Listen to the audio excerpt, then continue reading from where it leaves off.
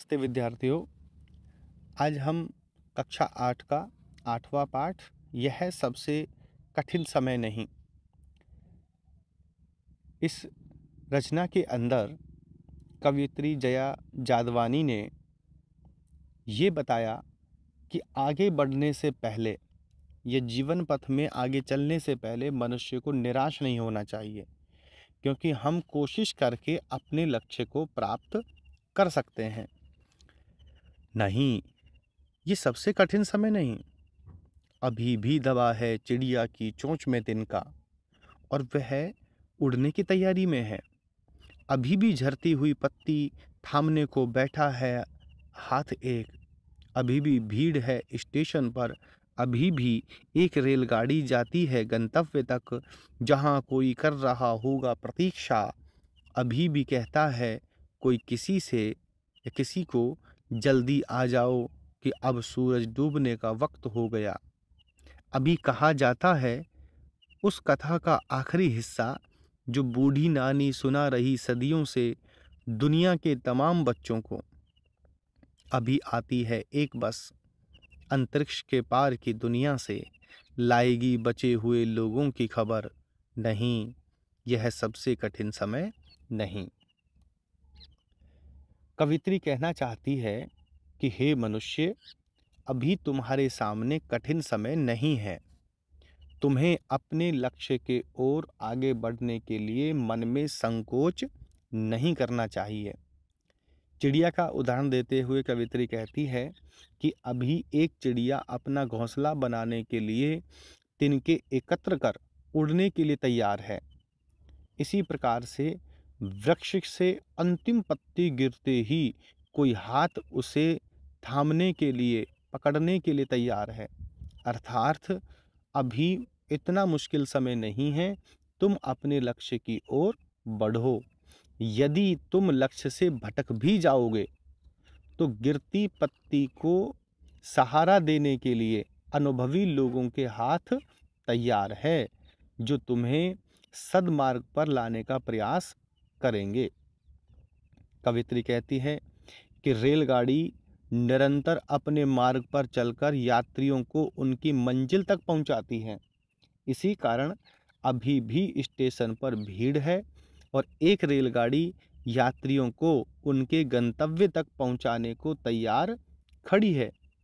इस रेलगाड़ी से जाने वालों का वहाँ कोई इंतज़ार कर रहा है।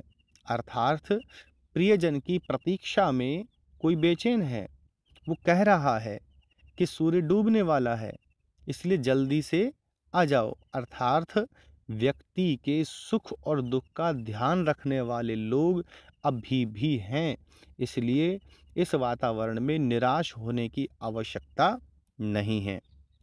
कवित्री संदेश के रूप में ये कहना चाहती है कि मनुष्य को अपने लक्ष्य की ओर बढ़ने से पूर्व घबराना या विचार नहीं करना चाहिए, बल्कि उसकी ओर आगे बढ़ने का प्रयास करना चाहिए। इसके लिए कवयित्री ने नानी की कहानी और अंतरिक्ष के पास की बस के उदाहरण देकर ये कहना चाहा है कि नानी अपनी परंपरा को निभाती हुई सारी दुनिया के बच्चों को युगों से अपनी कहानी सुनाती आती रही है। उसकी कहानी का महत्वपूर्ण हिस्सा, अर्थात आखिरी हिस्सा अभी रहा है।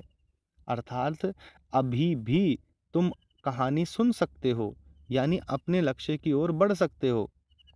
कवित्री कहती है कि अंतरिक्ष की जानकारी प्राप्त करके अंतरिक्ष के पार से एक बस, यानी कि एक यान, उन बचे हुए यात्रियों का समाचार ला रही है, जो मुश्किलों से जूझते हुए सफलता प्राप्त करके आ रहे हैं। अर्थार्थ आशावान बनकर मनुष्य को अपने लक्ष्य की ओर बढ़ते रहना चाहिए। इसलिए मनुष्य को निराश नहीं होना चाहिए, क्योंकि अभी सबसे कठिन समय नहीं है। कवित्री ने ये कहा कि यह कठिन समय नहीं। ये बताने के लिए इस कविता में कौन कौन से तर्क प्रस्तुत किए गए? ये कठिन समय नहीं है। यह बताने के लिए कविता में अनेक तर्क प्रस्तुत किए गए हैं। जैसे, चिड़िया अपनी चोंच में तिनका दबाए उड़ने को तैयार है, क्योंकि वो अपने घोंसले का निर्माण करना चाहती है। जैसे, डाली से गिरती पत्ती को थामने के लिए, उसे पकड़ने के लिए, रोकने के लिए एक हाथ तैयार है जो उसे सहारा दे रहा है। जैसे, एक रेलगाड़ी अभी भी अपने गंतव्य स्थान को जाती है। अभी भी घर में कोई किसी की प्रतीक्षा कर रहा है। नानी की कहानी का अंतिम महत्वपूर्ण हिस्सा अब भी बाकी है।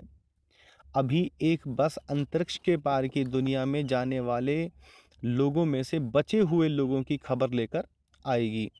इन सब तर्कों के माध्यम से कवित्री ये कहना चाहती है कि अभी कठिन समय नहीं है, सभी कार्य निरंतर हो रहे हैं, इसलिए अपने अभिष्ट मार्ग पर बढ़ने हेतु समय का विचार मत करो, आगे बढ़ो और सफलता प्राप्त करो। चिड़िया चोंच में तिनका दबाकर उड़ने की तैयारी में क्यों है? वह तिनकों का क्या करती होगी? तो चिड़िया चोंच में तिनका दबाकर उड़ने की तैयारी में इसलिए है क्योंकि वह उस तिनके को यथा स्थान पर रख करके और तिनके इकट्ठा करके उन्हें अपने स्थान पर रखना चाहती है। वह इन तिनकों को इकट्ठा करके उसे अपने और अपने बच्चों और अपने अंडों के लिए घोंसला बनाना है। इस कविता में और जो महत्वपूर्ण प्रश्न है, उनकी तरफ़ यदि हम जाएँ तो जैसे एक प्रश्न है कि झरती हुई पत्ती थामने को बैठा है हाथ एक, इस पंक्ति से क्या आशय है? झरती हुई पत्ती थामने को बैठा है हाथ एक इस पंक्ति से आशय है कि पेड़ से टूटकर गिरती हुई पत्ती को गिरने से पहले कोई सहारा देता है। ठीक वैसे ही यदि हम अपने लक्ष्य तक पहुँचने में असफल हो रहे हैं तो कोई ना कोई अनुभवी व्यक्ति हमारा हौसला अवश्य बढ़ाएगा। इसमें एक और अच्छा प्रश्न है कि अंतरिक्ष के पार से आने वाली बस के बारे में कवित्री क्या कहना चाहती है? अंतरिक्ष के पार से आती बस के बारे में कवित्री यह कहना चाहती है कि अंतरिक्ष के पार से वह बस आने वाली है, वह यान आने वाला है, जो नई खोजों हेतु गई थी। वह उन बचे हुए लोगों का समाचार लाएगी, जिन्होंने हिम्मत न हार कर मृत्यु से लड़ते हुए अपने लक्ष्य में सफलता हासिल की है।